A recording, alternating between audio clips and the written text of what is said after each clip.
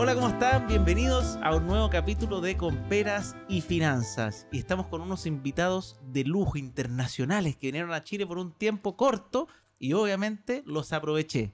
Pero antes de comenzar este capítulo, quería que conocieran los que hacen posible a este podcast. Porque WOM siempre se ha preocupado por tener los precios justos y democratizar en el mundo de los precios, se une como sponsor a Comperas y Finanzas para también democratizar la educación financiera y que sea gratis para ti. Ya estamos de vuelta y ahora sí que sí, estamos junto a los chicos de Camino Financiero. ¿Cómo están? Muy bien, muchas gracias por la invitación. Gracias. No, de nada. Muchas gracias a ustedes por venir. Estoy muy contento. Ahora vieron mi modo podcaster versus conversación libre. Me transformo. Pero eh, quería más que nada primero que se presenten. ¿Qué es? ¿Por qué nació Camino Financiero? ¿Y quiénes son ustedes? ¿Cómo se conocieron también? Para que los que nos están viendo y escuchando puedan saber cómo surgió esta, este, este origen de este camino que están formando juntos. Bueno, nosotros somos eh, Sebastián y Ana y nos conocimos en la oficina en Berlín, donde vivimos por yo 10 años y Sebastián unos 7 años en total. Y ahí yo trabajaba en recursos humanos, Sebastián trabajaba en, bueno, por aquel entonces era marketing en SEO. Mm.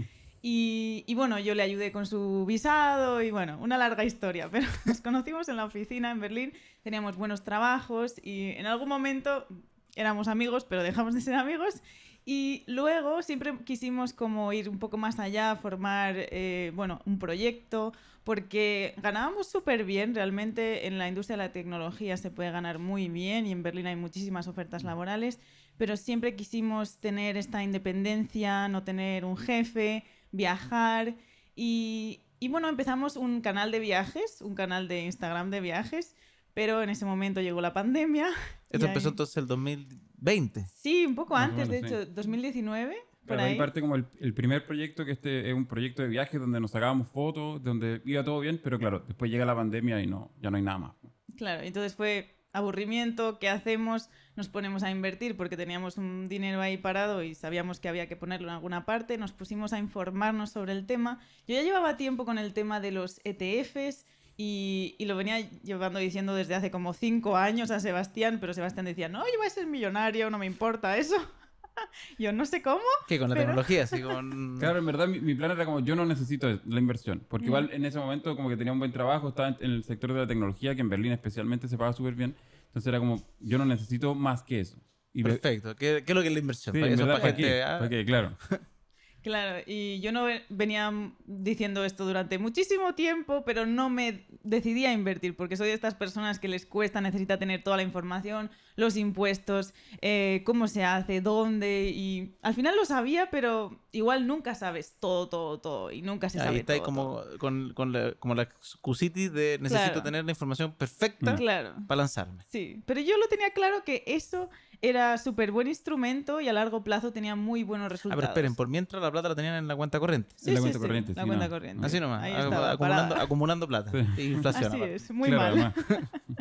Y claro, en algún momento Sebastián dijo, bueno, estaba aburrido y empezó a, a rebuscar esto del tema de los ETFs y en una tarde se informó todo lo que se, tenía que informar y se puso a invertir. Y yo como que me quedé como en plan, pero bueno, yo llevo como años hablando de los ETFs y yo no invierto, entonces claro, no se iba a hacer millonario él y yo no. Entonces digo, bueno, va, pues yo también voy a ponerme a invertir. Y bueno, y en eso que empezamos a investigar un poco más profundamente de la inversión en general, de la libertad financiera. Y toda la información estaba en inglés o en alemán en su momento porque hay mucha más información.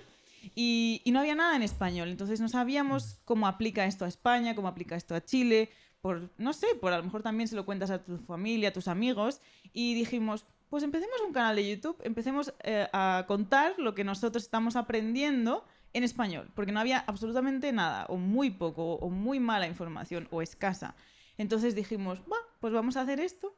Y así es Ah, como Aprendamos surgió. lo que estamos aprendiendo en inglés y Sí. lo hablamos en español. Claro, al final Así es como es. un poco traducirlo y mientras vais en el proceso, vais tratando de explicarle un poco a la gente qué es lo que está aprendiendo en ese momento.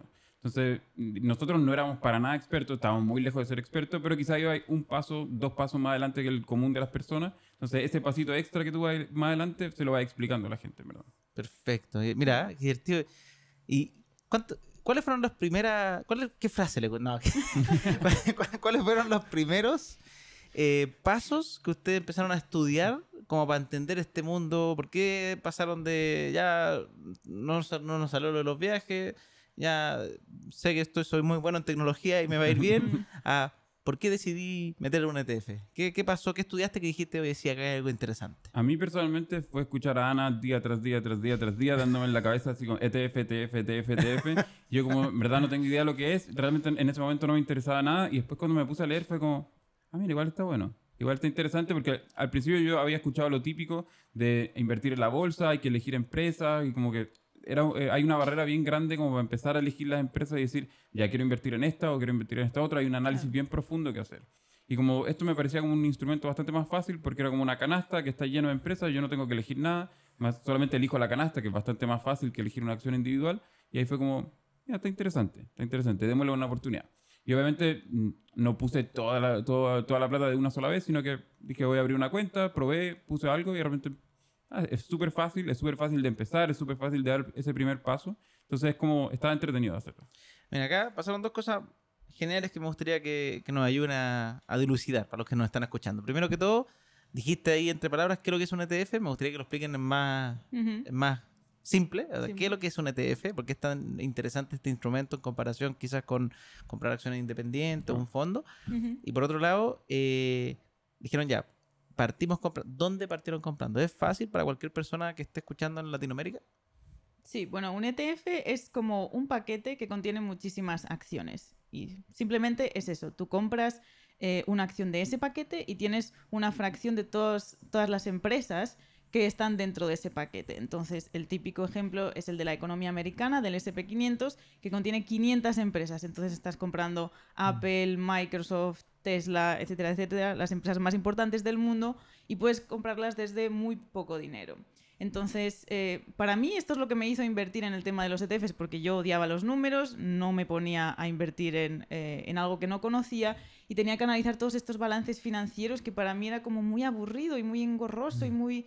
Uf, no sé, porque tampoco tienes el conocimiento de esta empresa dentro de la industria, por ejemplo. Eh, hay que saber muchísimo. Entonces, y es muy arriesgado, finalmente es como jugártela un poco Con una empresa. a una empresa. Y bueno, hay ¿En, que en qué trabajabas en, en Berlín? Eh, yo en recursos humanos en una startup también tecnológica. Eh, estuve en varias startups tecnológicas también del mundo del fintech y, y ahí vi un poco cómo funcionan los sistemas financieros. Eh, pero bueno, no tenía nada que ver Sí, con... porque es que recursos humanos, ahora me calza que quizás tú seas como a, analizar los estados de resultados. Claro, no, no, yo no quería eso. Entonces, lo de los ETFs Mándame me los parecía... currículum. Claro. El currículum de la empresa. No, lo de los ETFs me parecía eh, perfecto. Y luego encontramos que había muchísimas opciones en Alemania porque iban un poco más avanzados en ese sentido, porque la gente igual ya quiere poner su dinero a invertir. Estaba un poco más de moda el tema de los ETFs, quizás antes que aquí en Latinoamérica o incluso en España. Entonces había plataformas tipo Racional en Chile, pero en la versión alemana. Y también servía para España. Entonces, en el momento en el que nosotros empezamos, no había nada en Chile. De hecho, teníamos que hacer vídeos de cómo enviabas tu dinero a Estados Unidos para invertir en TD Ameritrade, Interactive Brokers, porque aquí en Ya, con los Chile... clásicos brokers gringos grandes. Claro, sí, Claro, pero había claro. que hacer una vuelta súper súper grande en general porque nosotros no tenemos dólares como naturalmente, sino que tenemos pesos y hay que pasar de peso a dólar y de dólar enviarlo y hay que tratar de no enviarlo a través del banco porque el banco te va a hablar. Pues, un- una, una- una cortadita, Claro. o sea, lo que se veía atractivo se va viendo menos Claro, atractivo. Claro. porque eran Entonces, al como final 20 era- dólares por eh, transferencia bancaria. O sea, a a menos que envíes muchos, muchos, muchos dólares, pero si querés partir con Claro. poco, que te coman un 20%, no sé, pues si uno dice, ah, voy a invertir 100 dólares, que te corten el 20, significa que ya, Sí. Claro, ya, final- ya partiste con un handicap muy negativo. Sí, pues, al final se hace como súper poco atractiva la inversión si es que tengo que hacer todo ese proceso. Aparte que es largo, es lento y, y aparte que te cobran hartas comisiones. Entonces, en ese sentido, como que era muy difícil para las personas en Chile o en Latinoamérica en general empezar a invertir y como tener acceso a este tipo de instrumentos.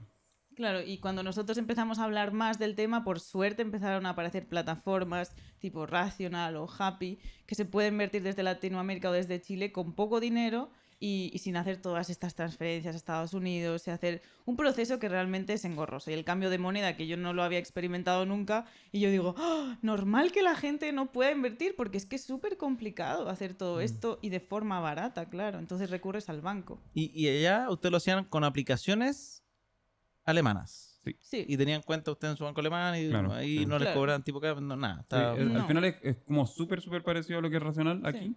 Entonces lo que hacen... versión de un alemán, Sí, creo. pero en versión alemán, sí. Pero prácticamente lo mismo. Interesante, ya. Y esa fue la primera. Y ahí empezaron, oye, esto hay que, hay que conversarlo, vamos a hacer un canal de YouTube y, y de repente esto tiene 100 millones de seguidores, o sea, 100 mil seguidores. ¿Qué, No qué de pasó? repente. ¿Cómo, cómo fue el- ¿Cómo fue ese camino también? Porque, ¿y en qué minuto, me gustaría saber, decidieron eh, renunciar a tu pega que ibas a ser millonario? o sea, tú dijiste, ah, voy a ser millonario con mi pega, ¿Verdad? pero resulta que ahora soy viajero y youtuber. ¿Qué pasó? Sí. ¿Cómo fue ese, ese cambio? Bueno, primero no fue de repente para Ah, nada. ya, ah, ya. Porque empezamos, fue hace justo tres años, bueno, en plena pandemia, en 2020. Y bueno, nosotros teníamos nuestros trabajos y fuimos bastante constantes, pero esa constancia fue difícil. O sea, abrir un canal de YouTube, cualquiera puede abrir un canal, Sí. pero ser constante mientras tienes un trabajo, grabar los domingos y no tener vida social, no, no, no tener tiempo para cocinar. Estábamos siempre en el kebab de la esquina. Ya entonces- saben, adiós amigos. por un tiempo, por lo menos sí. Y recuerdo que para hacer vida social un día teníamos Sí. que levantarnos como a las 8 de la mañana un domingo eh, para poder grabar un vídeo y luego ir al cumpleaños de una amiga, por ejemplo. Y eso fue, eso fue difícil. También repetir a veces los vídeos porque no había salido bien y Sebastián es un poco meticuloso para eso. Es que no se escucha bien, tienes, te, te da el, el, como el pelo con el micrófono y estas cosas. Y yo, ¿qué más da? Y él, y él, no, es importante porque si no se escucha bien, yo apago el vídeo y ya no lo veo más.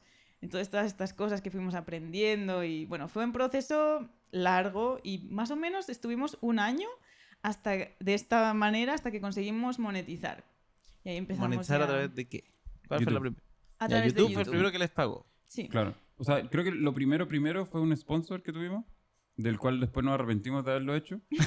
Eh, pero esa es otra historia. Pero sí, después, como la primera como monetización fija o estable es la monetización de YouTube.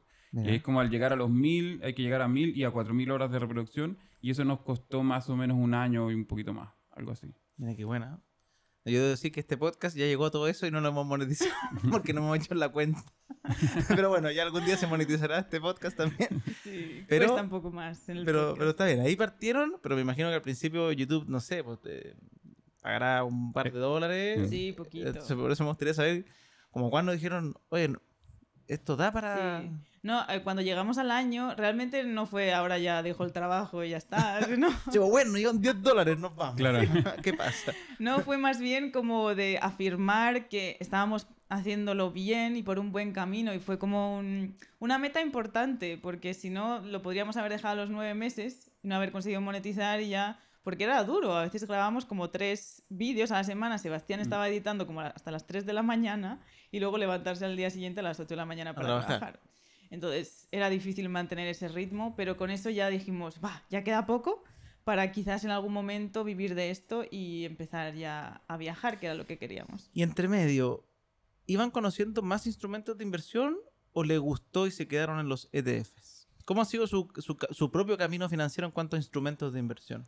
Igual principalmente partimos como por, por el tema de los ETF, era como el instrumento con el que Ana venía ahí machacando todo el rato, entonces fue como ya, empe- empezamos como por investigar por ahí, por esa, esa parte, y ahí te vas dando cuenta de que sí, que hay gente que invierte en acciones individuales, obviamente un instrumento más conocido, pero como no sabía analizar, no sabía qué, qué cifra o qué número o qué indicadores había que empezar a mirar, y ahí sí que vais aprendiendo sobre eso. Luego ya como otros instrumentos como fondos mutuos, pero que de inicio ya no nos interesaron mucho, sobre todo por las comisiones que tienen. Pero entonces ahí nos, nos quedamos como que entre los ETF y las acciones individuales. De hecho, ambos, cada uno en su portafolio tiene ETF y tiene acciones individuales. Acciones individuales. Perfecto. Sí. O sea, estos son, esos son como los instrumentos que hoy día manejan. Sí. Sí, bueno, y criptomonedas Y cri- también. Y criptomonedas. Sí. Ya. Y más o menos, para saber así, portafolios, uno le dicen porcentaje. ¿Cómo se estaría dividiendo entre, entre ETF, acciones directas y, y criptomonedas? Si uno pudiera Yo más creo- o menos. El mío personalmente creo que son como en ETF debe ser como un 60%. Perfecto. Hay como un 30% que son de acciones individuales y hay un 10% que son de criptomonedas. Ya, o sea, un porcentaje de pensado, pensado para el riesgo. Los ETF son ETF de todo tipo o más orientados a, a, a estos SP500, algo que te da una rentabilidad promedio mensual a largo plazo, o hay alguno que usted dice, no, esta es una apuesta tipo ARC. Hay un poco de todo. O sea, personalmente, por ejemplo, tenemos eh, los del SP500, pero también ¿Ya? tenemos como algunas industrias que nos interesan, que nos gustan, como por ejemplo la industria de los semiconductores. Hay un ETF, el SMH. que está bien interesante. Entonces, por ejemplo, tenemos inversiones ahí también. Entonces, SMH, que es de semiconductores. de semiconductores, sí. Yo tengo un, ahora que lo pienso, porque eh, a mí me gusta mucho un fondo mutuo Ujú. que tiene harta relación, pero tiene relación con más que nada con microtecnología y semiconductores Ujú. y con industria relacionada a, a producción de, de, de silicio, básicamente, para los Mm. microchips de Claro. tecnología. Probablemente se, se parece. Pero me están cobrando más. Claro. Pero a mí me encanta ese fondo, le tengo mucha fe. Ajá. A mí qué interesante. ¿Y los mismos o buscaron carteras distintas? Que al final si están estudiando lo mismo, me imagino que igual se, se pegan los... Sí, sí, pero cada uno tiene su portafolio. Porque, Ah, claro, las inversiones son personales, igual Sí. que las finanzas, entonces también cada uno tiene un riesgo, una versión al riesgo diferente, él es un poco más arriesgado que yo y, y así. Y entonces yo tengo un poquito más en ETFs, tengo un 70% en ETFs, luego 20% serían acciones individuales de algunas empresas importantes, también de semiconductores, eh, pero individuales, y luego un 10% en criptomonedas. Pero buenísimo. Entonces, un poquito menos arriesgado, un poquito más arriesgado. Semiconductora, a los dos les gustó esa industria. O sea, ya Sí. veo que la estudiaron harto. Sí, porque al final los semiconductores son los microchips y cualquier cosa, este micrófono, la cámara, el tostador que tienes en tu casa, cualquier cosa tiene un chip y para eso se necesitan los semiconductores. Entonces, como es la materia prima de, de cualquier cosa medianamente tecnológica que tengas hoy en día. Es casi la misma tesis de inversión que, que tiene DBA para el, para el fondo que hizo. ¿verdad? Bien, ah, bien ahí mi- mi- mi- mis chicos, mis analistas de fondo. Muy bien. Eh, buenísimo. Entonces, se fueron por ese lado. Empezaron a, a monetizar. Eh, seguían invirtiendo en lo mismo que, que- que comenzaron. ¿En qué minuto? ¿Y por qué, por qué les gustó también el tema de, de- de educar? ¿Es solamente porque ven que hay una manera de, de vivir de esto y viajar y todo? ¿O también les gustó el, el resultado que estaba generando a- hacia la comunidad que iban creando? Porque aparte se pegaron una crecida bien rápida. O sea, Mm. al principio obviamente es trabajo, trabajo, trabajo, pero de repente se empezaron a pegar una, una escala. Y lo mismo en Instagram. En Instagram hoy Mm. día como que de repente estaban en, en 20.000 y de repente 500.000. Claro. Entonces, ¿cómo fue esta experiencia de, de- de tra- de trabajar o de, lograr transmitir esta educación financiera que encontraban en alemán, en inglés, qué sé yo, a un español que todo el mundo pueda entender? A mí algo que me parecía como interesante, o sea, como un poco frustrante al revés, como cuando estábamos haciendo todo el tema de los viajes y teníamos esta cuenta de viajes donde compartíamos como una foto y el lugar y como un tip. Y realmente era como, se te quedaba, te quedaba ahí como con gusto poco, porque realmente la gente lo único que hacía era darle me gusta a la foto y era como... Era bonito nomás, era como... Claro, como que no estaba ahí real- realmente aportando absolutamente nada. Entonces, yo- de- después de haberlo hecho más o menos como un año, empe- yo personalmente me empecé a aburrir y fue como, es que tampoco tiene mucha gracia hacer esto si es que la gente no, no le ve el valor realmente, solamente le está dando me gusta a una foto bonita. Entonces, al, cuando empezamos a hacer esto, sí que uno empieza a recibir como comentarios de gente como, empecé a invertir gracias a esto, logré ordenar mis finanzas, por ejemplo, nosotros también compartíamos no solamente temas de inversión, sino también de ahorro, presupuesto y eso. Entonces, como ver que la gente efectivamente está empezando como a usar estas herramientas y a tomar un poco las riendas de las finanzas, obviamente que te da como un, hay un chute de energía, como decir, ah, lo estoy haciendo bien. Perfecto. Claro. Y, en, y en su vida personal, antes de comenzar con Camino Financiero, ¿ustedes eran ordenados financieramente hablando, medianamente? ¿Gastaban como loco? ¿Cuál- ¿Cómo era su situación personal financiera? Y, y si ha cambiado en base a esto.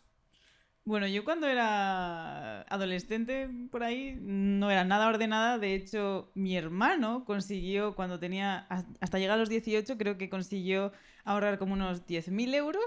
Y que eso, es- ¿cuántos eran? Como 10, eh, 10 millones de pesos. Y, y yo no, y yo cero, porque yo me lo gastaba todo en ropa de la...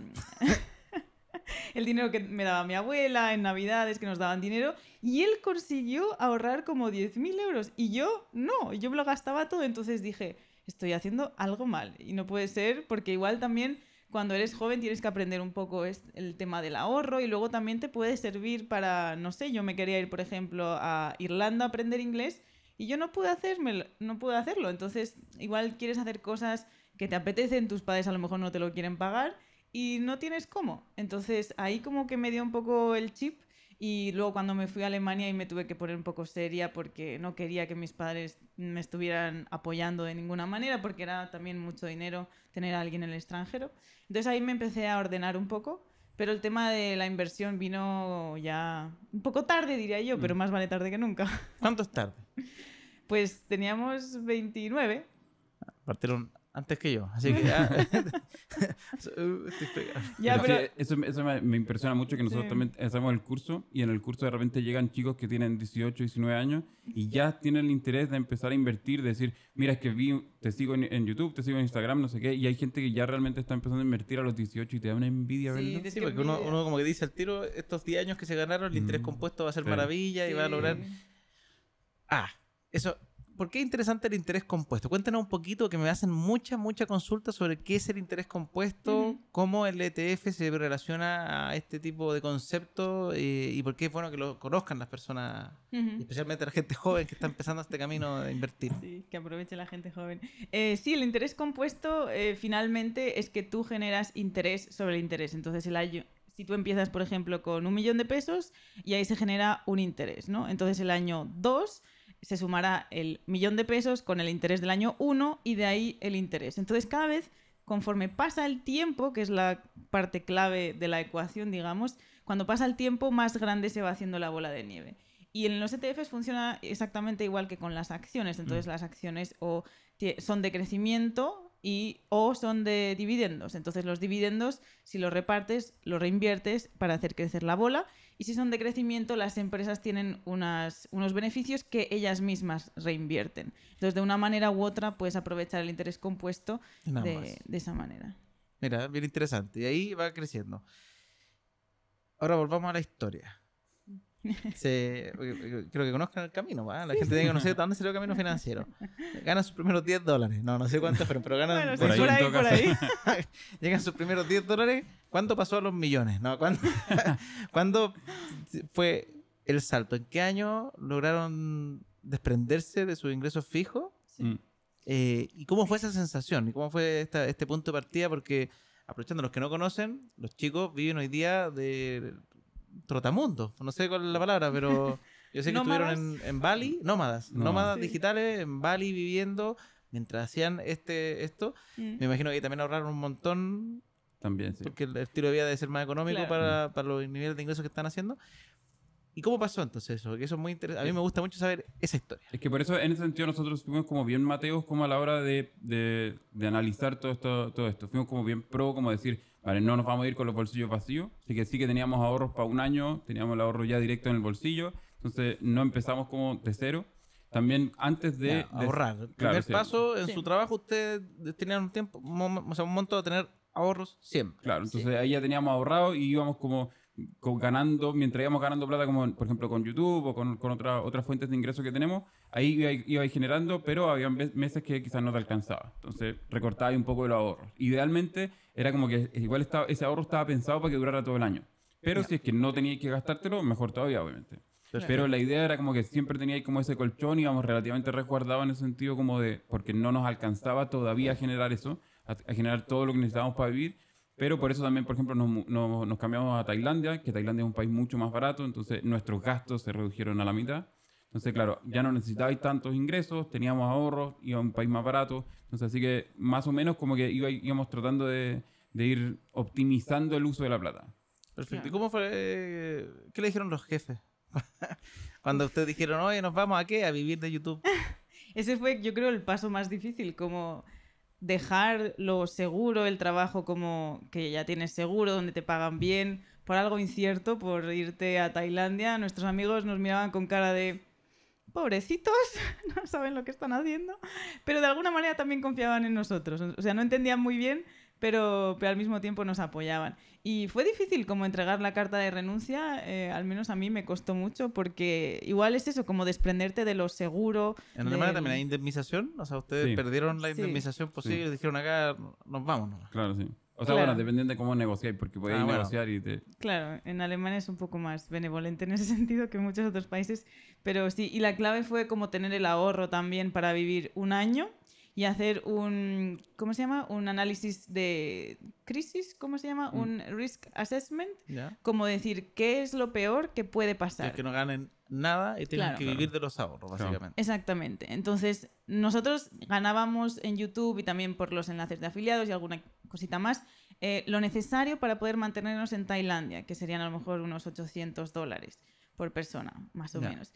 Y luego aparte teníamos ahorros para poder vivir un año en Tailandia. si es que no generaran ni un ingreso. Claro. Lo que pasa que luego también en Tailandia nos pasó algo donde se nos fueron todos los ahorros, todos esos ahorros para un año, que fue Oh. con el caso de las criptomonedas, eh, el desastre que pasó. Entonces, Ah, pues los ahorros los tenían en las criptomonedas. Parte de los ahorros. parte, de los parte. ahorros estaban ahí, sí. no fue una buena Ahí decisión. no era el 10%, entonces. Ahí no era el 10%, 10%. ahí sí. Ahora donde entendieron que el portafolio tenía que Sí. estar... Ahí se escapó un bastante más del 10%, pero claro, eran, eran los ahorros y era una porción de los ahorros, no, tampoco eran todos los ahorros, y fue como, oh, igual pega fuerte, porque igual se- eso al final se fue a cero, nosotros teníamos como la- esa, la stablecoin, USDT, Ah, y al final, claro, se fue a cero, perdimos toda esa plata. Estaban y- metidos en, en- ¿Cómo se llaman? Eh, cuando, Anchor. En Anchor, Mm. el protocolo. Sí, queda un O sea, ca- 24%. cayeron, cayeron en la tentación de que, oye, 10%... Sí. ¿Cuánto dabas? 20. 20 20, anual, 20. 20 anual, seguro. Sí. eh, y ahí donde digo todo el mundo, en cripto no existe lo seguro. eh, Claro. Hay que tenerlo siempre como un proyecto de riesgo. Pero bueno, Sí. eh, experiencia que... O sea, nunca habíamos dicho de que todo el mundo debería de tener esto, eh, ahorros de un año en, este tipo de, plataformas, pero nosotros lo hicimos porque a veces hacemos cosas que en realidad no deberíamos. Pero bueno, eso fue un aprendizaje, un gran aprendizaje en el sentido de que tenemos que diversificar, no poner todo en un mismo lugar, incluso los ahorros en una misma cuenta.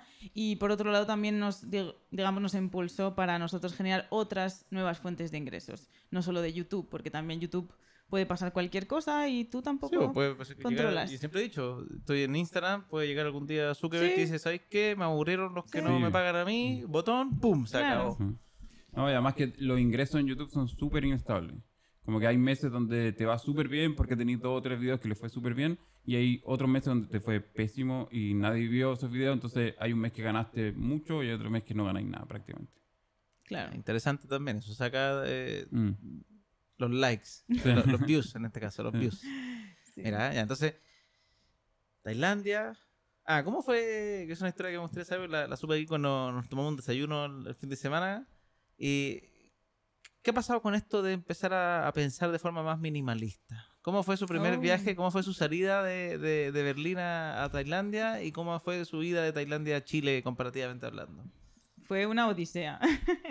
Porque nosotros, te- bueno, vivíamos en un piso de 36 metros cuadrados. o Allá. sea, en Berlín, o En sea, un sí. estudio. Y ahí pasamos la pandemia, trabajábamos, grabábamos y bueno, era un lugar pequeño, para que te hagas una Sí, idea. ahí yo siempre digo a las personas que a veces dicen, no, los departamentos son chiquititos, cajas de fósforo, pasa en todo el mundo. Sí. Porque hay gente que jura que ay, los países desarrollados te han puesto que viven en 200 metros cuadrados una persona. No. No. No, la de hecho, realidad gen- es que generalmente entre es más que avanzada... el- Los más pequeños son. Exactamente. Entre más desarrollada es una ciudad, lo más común es que más personas quieran estar en esa ciudad Claro. y las ciudades no pueden crecer para los lados. Claro. Entonces empiezan a crecer hacia arriba y en tamaño. Es Claro. la única forma de abarcar más gente. Sí, no, es o si no, tenéis que ser un país que le diga a las personas, no, sabéis que tapón, no Claro, vengan. Sí, Es que queremos su país, no, no vengan. Acá queremos tener pura gente en 100 metros, no existe eso. claro. No, en Berlín el tema de los eh, pisos es una locura, pero bueno, ese es otro tema.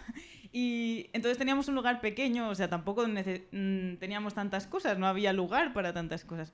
Aún así, claro, llevábamos una maleta grande y una pequeña y una mochila cada uno. O sea, tres piezas de equipaje y una maleta grande de 20 kilos.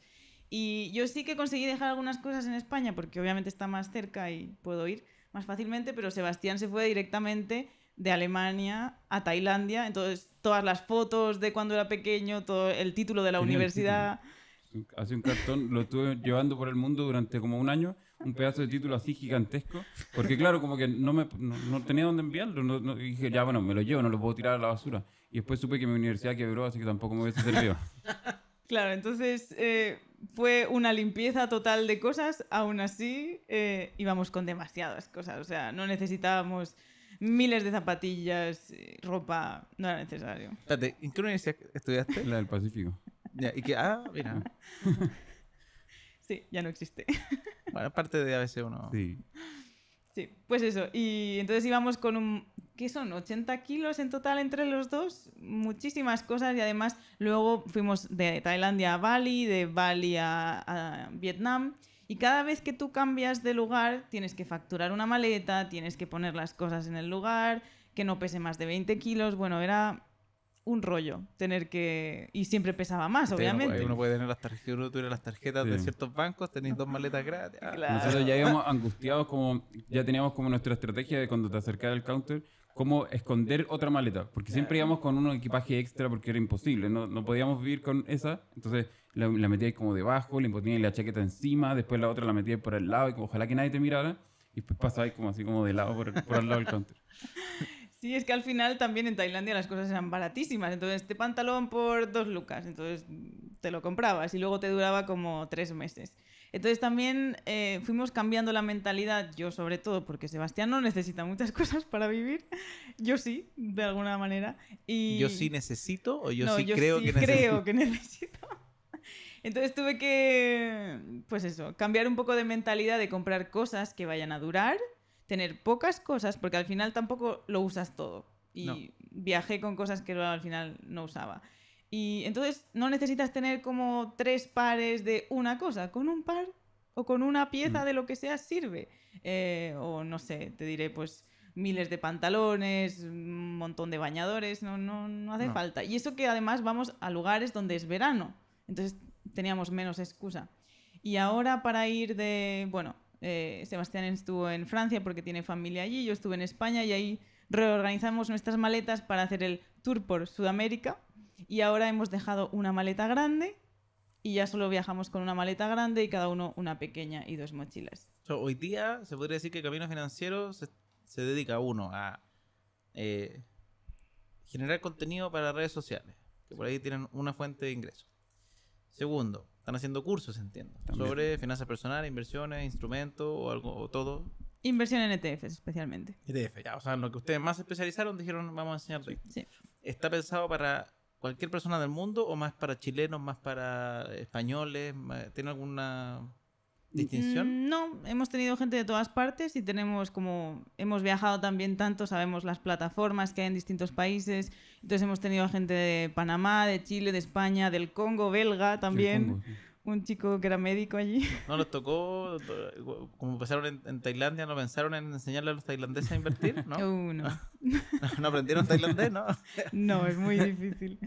Pero entonces, segundo, entonces, y fuente de ingreso, cursos de ETFs en específico. sí. sí. Eh, tercera, ¿Alguna tercera fuente? En este momento no, tenemos... Ah, auspiciadores. Claro, claro, o sea, pero todo eso entra, hay, hay varias cosas que entran dentro de esto de generación de contenido. Ya. Porque no solamente está la plata que uno recibe de YouTube directamente, sino que hay auspiciadores y hay otras fuentes que como que se, sal- se desglosan desde ahí. Pero ahora también estamos trabajando en otro proyecto, un tercer proyecto que está bien entretenido, pero eso ya es como un proyecto tecnológico un poco más grande, un poco ¿No distinto. se puede hacer la- el preview? Todavía no. Todavía no. Todavía no. Está bien, si vienen de la industria tecnológica, me imagino que entretenido Claro. meterse en un, en un proyecto con el, del background Claro. personal. Sí. Y dijeron que están siguiendo el verano. O sea, ustedes son patiperros que, que siguen los veranos de los distintos continentes. Sí, es que vivir 10 años y 7 en Alemania eh, es matador en el sentido mental de que no tienes verano o dura un par de semanas y los inviernos duran mucho. Entonces al final eso mentalmente te va, te va haciendo un poco de mella. Mm. te tienes que tomar vitamina D para no estar como con cara de perro y es, es duro, es, es duro. Al final como te cuesta levantarte por las mañanas en invierno y, y dijimos, ahora es nuestra venganza, vamos a perseguir el verano hasta que nos cansemos. A llenarnos de vitamina D. Claro. Claro. Eh, Entonces ahora, en, bueno, hasta junio estaremos en Latinoamérica y luego vamos a Europa a perseguir el verano de allí. Perfecto. Oye, le voy a terminar las últimas preguntas, pero antes de eso me gustaría que todos sepan quién está haciendo posible estos podcasts. Muchas gracias a Euro Inmobiliaria por ayudarnos a hacer este podcast posible. ¿Qué es Euro Inmobiliaria? Básicamente es una inmobiliaria que construye edificios tanto para vivienda personal como de inversión, principalmente para inversión. De hecho, a mí me gusta muchísimo, he invertido en proyectos de ellos y te recomiendo que lo visites. El link está ahí abajo, conócelos. Como siempre, la inversión tienes que estudiar antes de invertir, pero check porque están a favor de la educación financiera y están apoyando esta iniciativa y check porque tienen un producto de inversión bastante acabado. Así que genial. Ya estamos de vuelta y ahora las últimas, últimas preguntas que quiero hacer.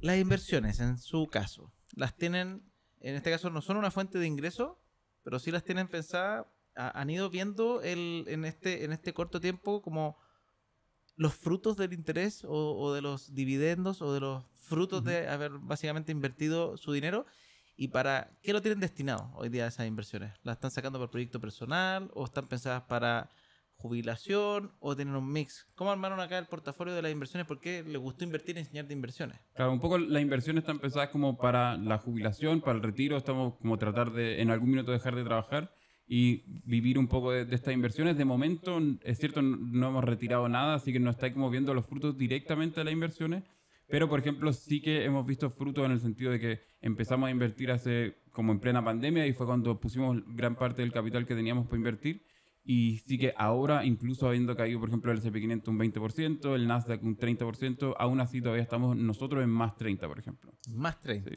en los tres años. Claro. Es que eso fue Entonces, clave, haber invertido como un gran capital en momentos de crisis como el actual, que mucha gente podría empezar ahora si tiene la oportunidad.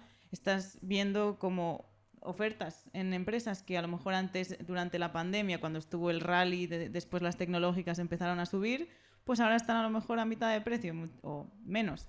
Y entonces puedes aprovechar el momento y en su momento, como invertimos una gran parte de capital, eso nos está rentando. Y por supuesto, continuar invirtiendo, que es la idea. ¿Algunas empresas favoritas? No para la recomendación, ojo que esto no se tome como una recomendación, pero hay, hay cierto, ya sé que el sector de los de los ah, microchips y Semiconductores. semiconductores, les llama la atención, pero hay empresas que ustedes tengan como su- sus predilectas, que les gusta, que quizás también acá es súper importante, ellos compraron a cierto precio, no, quizás Claro. no Sí. comprar ahora, pero, pero ¿hay los favoritos? Sí. Yo personalmente, mi, mi empresa favorita de que he invertido desde, creo que fue una de las primeras inversiones que hice, fue Apple. Sí. Oh, sí. O sea, es que ya hay tres, hay dos cosas en verdad que en particular que me gustan. Uno, uso prácticamente todos los productos de ellos. Y dos, es que en Berlín vivíamos cerca de una tienda de Apple. Está la tienda y da lo mismo si está lloviendo, nevando, hace cal- da lo mismo. Había una fila de por lo menos 50 personas esperando para comprarse un iPhone. Siempre. Y eso era como, es que a esta empresa le tiene que ir bien, sí o sí. Le tiene que ir bien si está llena la tienda día y noche, día y noche, y da lo mismo si afu- afuera estuviese nevando, entonces era como, ya, obviamente a esta empresa le va bien, vamos a ver qué, qué tal sale por ahí. Bueno, eso es muy parecido al libro... eh, Peter Lynch. De Peter Lynch. Sí, un, Un paso por adelante delante de de Wall Wall Street, Street, que justamente dice, oye, miren lo que está pasando, en vez de andar haciendo mi- miles de análisis que los expertos muchas veces se equivocan, No, vean qué es lo que está pasando y si tú veis que la tienda está todo el día con fila, algo de valor genera. claro. Claro. Entonces, Apple es de tus favoritas. Sí, Ana. yo también Apple, me gusta también eh, ASML, que es eh, las que generan las máquinas para los semiconductores, porque para poder cortar, digamos, los microchips, se, son como nanómetros, es como más pequeño incluso que una célula o algo así. Y necesitan como láseres como para cortar, digamos, los microchips. Y esa empresa tiene el monopolio de, de esas máquinas en Holanda. Entonces, todo relacionado con la industria de los semiconductores, a esa empresa le va a ir bien si ahora de repente eh, hay escasez, por ejemplo, que la ha habido. Y, y otra empresa también relacionada es TSMC, también de semiconductores, la taiwanesa, que ya se encarga también de, de la fabricación de semiconductores. Y Nvidia, también de nuevo, un poco relacionado con el tema de los semiconductores, tarjetas gráficas, son empresas que, bueno, TSMC aún no la tengo, pero la tengo en el radar para cuando baje de precio, pero las otras dos además me están generando bastante buenos rendimientos. Perfecto. Buenísimo. O sea, esas son como las, las favoritas del minuto de ustedes. Sí. Buenísimo. Y, y ETFs. ETF, porque si tienen 60 y 70% en ETF, Mm. ¿cuáles son los ETFs que, que para ustedes son los más interesantes a considerar en general?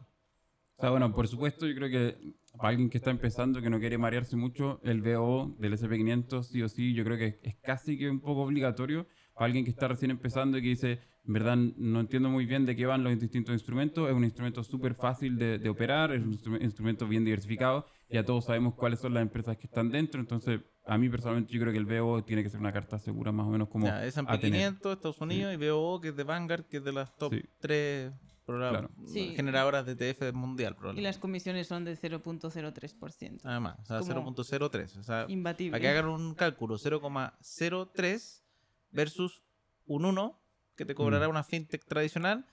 Eso es sea, por 10, por Sí. 30. Se- Empiezan en un 1% generalmente los fondos mutuos y esto, claro, 0.03 no es absolutamente nada. Son, no llega ni siquiera a un dólar si es que tenéis mil dólares. O sea, no es nada. Es una locura. Sí, a mí me parece interesante también el tema de los mercados emergentes, por ejemplo. Eh, o sea, combinar, por ejemplo, un ETF como el del SP500 y también añadir un poco. Es un poco más arriesgado porque aún no tenemos históricamente los datos de que va a ser así, así como en el SP500 tienes datos históricos Hay de que datos ido como de- desde el Sí. 1929, Hace 100 años. no sé. Sí, claro. Eh. Es el tema de los mercados emergentes. Entonces, China, India, eh, entonces todos estos países que están emerge- emergiendo ahora mismo y que en algún momento se pueden colocar en el primero o segundo puesto también.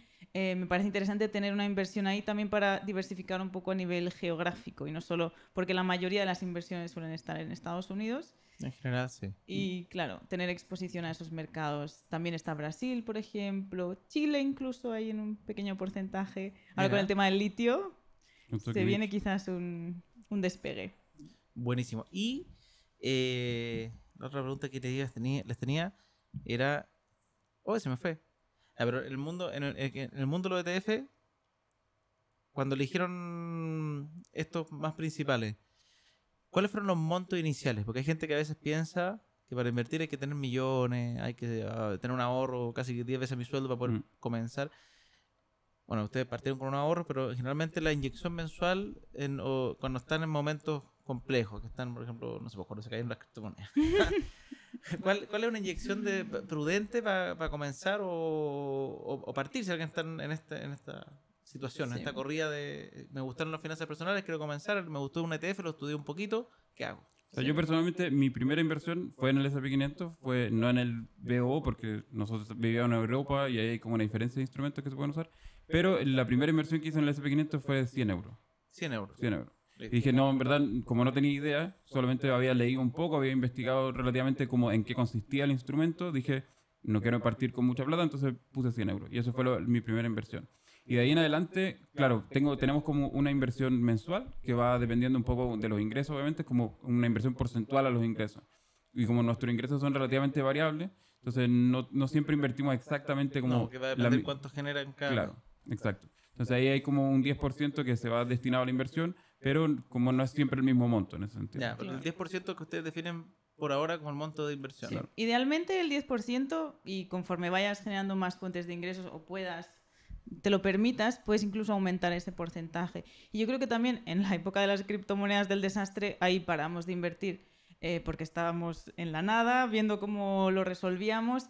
Y creo que eso tampoco pasa nada, porque igual uno se angustia si de repente no puedo invertir, pero si sabes que en cuanto tengas de nuevo dinero tienes que volver a invertir, eso es lo importante, generar el hábito, pero de- si de repente tengo que endeudarme para poder invertir o para pagar no sé qué, no, mejor destino esa cantidad a lo que lo tenga que destinar y ya cuando pueda vuelvo. Pero ojalá que sea una obligación, pero tampoco ha- hace falta exagerar de que voy a endeudarme para pagar el coche porque si no, no hay manera. Pues No. bueno, me organizo y lo hago. Ah, me acordé de la última pregunta que tenía. Esta era. ¿Por dónde partieron ustedes y por dónde recomiendan a las personas comenzar estudiando finanzas personales o mundo ETF o los principales instrumentos que ustedes han estudiado? ¿Qué, ¿Hay algún libro que les haya gustado? ¿Algún artículo? ¿Algún sitio? Algo que ustedes dijeran, oye, por aquí nosotros fue donde más crecimos cuando comenzamos. Ah, personalmente yo como que la, la- casi toda la información la consumo a través de YouTube directamente. Ya, para ti fue YouTube. Sí, ah, por YouTube. eso el canal de YouTube Claro. para usted era evidente hacerlo. Sí, para, nos- o sea, para mí personalmente como sí o sí era YouTube. En ese momento no había mucho contenido, como te decíamos, como en, en- en español, solamente estaba todo en inglés, pero sí que habían hartos canales que estaban hablando como de inversión en general. Y como ya en Estados Unidos o en Alemania, por ejemplo, ya se estaban poniendo de moda los ETF. ¿Y tenían algún canal favorito? ¿O ¿Tú buscáis ETF, el programa que saliera? Yo, yo personalmente el que sale. Que sale así. Sí, porque yo, yo también soy un poquito de esa Mm. política en YouTube. Es como que busco y, y voy viendo los que tienen más comentarios Claro, positivos sí. y se ve como que es es interesante. ¿Y, y Ana, tú tenías alguno o también fuiste por esa línea? Yo también, YouTube lo que salga, o también eh, los libros. Eh, eh, muchos libros. Desde luego, ahí he aprendido muchísimo. Por ejemplo, el inversor inteligente de Benjamin Graham es como la Biblia, lo que pasa que es un poco más avanzado. También lo mencionas en tu libro, he visto. Tu Sí. libro, en algún momento, yo creo que es una buena forma de empezar. Aún no me lo he leído. Eh, también el de Peter Lynch, por ejemplo, Un paso por delante de Wall Street. Uno que me gustó mucho, no sé si está disponible en Chile, es eh, Alicia en Wall Street. Eh, Alicia en Wall Street. Sí, ese me encantó porque no sé, de una forma como muy divertida, amena, no solo para como adolescentes incluso, pero para mayores también, como te ayuda a entender la filosofía de inversión a largo plazo, la inversión en valor, el value investing, por ejemplo, conoce a, a Warren Buffett, a Benjamin Graham, Alicia por, por ahí. Bueno, lo recomiendo mucho porque... me Alicia en. Wall Street. Sí. ¿Y está en español? Sí, lo que no sé si está en Chile, creo que sí, los de Busca Libre les dijimos que lo pusieran, así que igual ya está disponible en Busca Libre. Buena. Sí. Entonces con eso vamos a ir de a poquito dando un cierre a este capítulo. Espero que les haya gustado conocer a los chicos de Camino Financiero y me gustaría dejarles las últimas palabras si quieren dar alguna alguna recomendación o al revés. Me gustaría que den alguna recomendación si le pueden dar quizás tres o cinco tips a las personas que están empezando este camino, porque va a ser su, su propio camino financiero, como son finanzas personales. ¿Qué cosas les pueden recomendar? ¿Cómo han sido, cuáles han sido quizás de sus fracasos y de sus aciertos?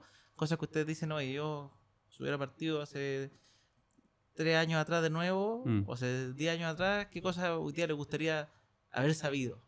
A mí personalmente, como el consejo número uno es partir ya. Sí. Partir lo antes posible, atreverse, no es tan difícil, es mucho más intimidante desde afuera el mundo de la finanza que lo que es realmente la inversión dentro. Una vez que ya uno da ese primer paso, ya como que te vais soltando y vais entendiendo un poco mejor cómo funcionan los sistemas, cómo funcionan los distintos instrumentos. Entonces, dar ese primer paso para mí es lo más importante. Dar el paso, ese Sí. siempre prioritario. Sí.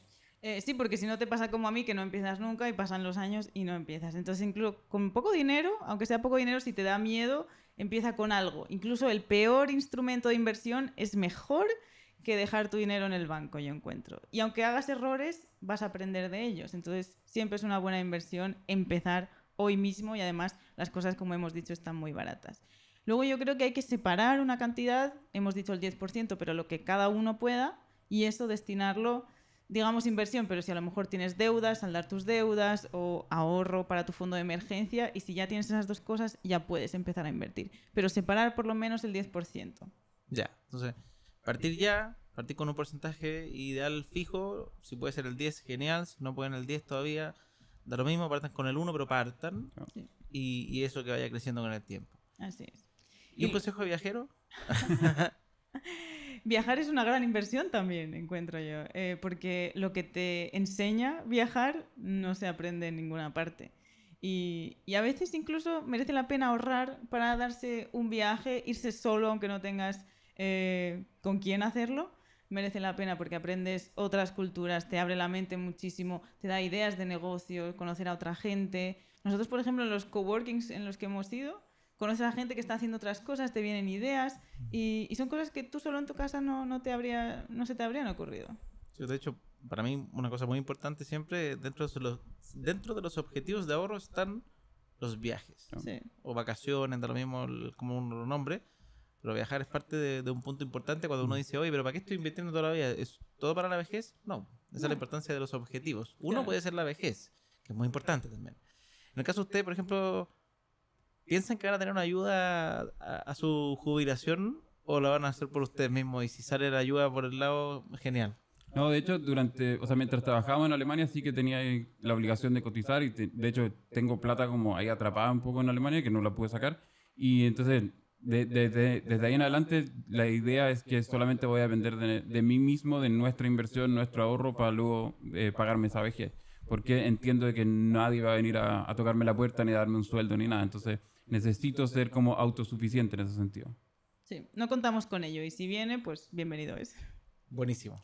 Así que con eso los dejamos. Espero que les haya gustado este capítulo. Recuerden dejarnos siempre un like, comentar, suscribirse a este canal y si quieren algún invitado en particular, vayan contándolos. Hemos traído varios de los que nos han dicho en los comentarios, así que cuéntenos qué instrumento quieren aprender, qué tipo de mentalidad, o sea, quizás no un instrumento en específico, sino que pasemos a capítulos más de temas de mentalidad, de esfuerzo, de historias de personas que han pasado por este camino o tortuoso o de manera exitosa.